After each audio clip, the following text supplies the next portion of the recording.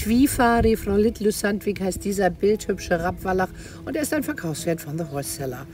Ein Viergänger Naturtölter, super viel, mega viel Tölt. 16 Jahre alt, Stockmaß 1,37 Meter, ein Pferd mit hübschen Bewegungen, weich zu sitzen, ganz einfach zu reiten, eher leicht von der Hilfengebung.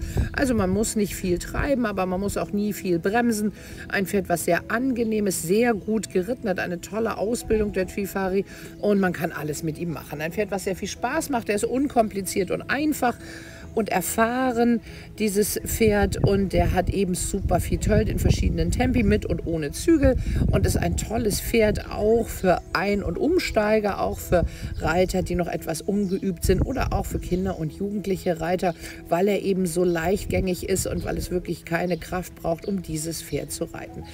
Twifari hat wenig Angst, er ist ziemlich cool und unerschrocken. Verkehr oder Trecker oder sowas, das macht ihm überhaupt gar nichts aus auch Dinge, die man sonst so mit ihm veranstaltet. Wir machen ja immer auf den Videos, habt ihr schon öfter gesehen, lustige Sachen mit unseren Pferden und auch das hat er alles ganz gut mitgemacht. Auch dressurmäßig ist er ordentlich geritten, ein sehr angenehm zu reitendes Pferd für die Freizeit.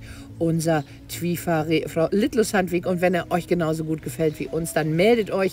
Die Daten dazu findet ihr oben im Video. Und bis dahin noch ganz viel Spaß mit dem schönen Twifari.